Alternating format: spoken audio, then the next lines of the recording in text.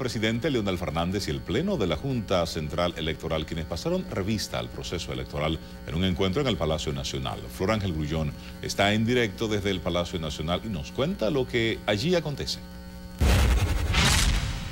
Gracias, buenas noches. Justo una hora y 15 minutos estuvieron los miembros de la Junta en el despacho del presidente.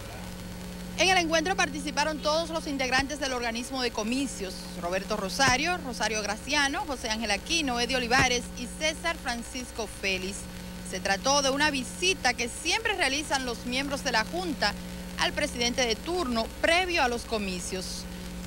El gobernante se puso al tanto de la marcha del proceso electoral. Fue una reunión que se circunscribió a esa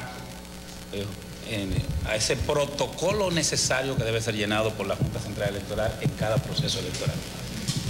¿Qué, hace falta en el proceso? ¿Qué falta ya para que todo esté listo? Esencialmente que todos los dominicanos vayan a votar.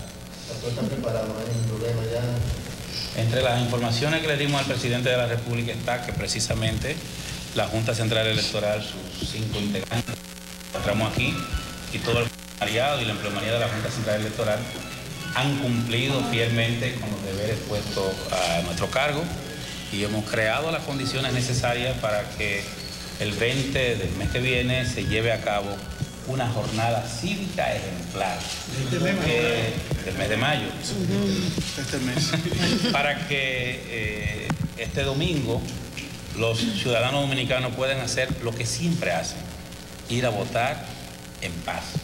Según Rosario, los recursos económicos han fluido conforme a lo pautado. Además, reiteró que los dominicanos conocerán a tempranas horas de la noche los resultados electorales del próximo 20 de mayo.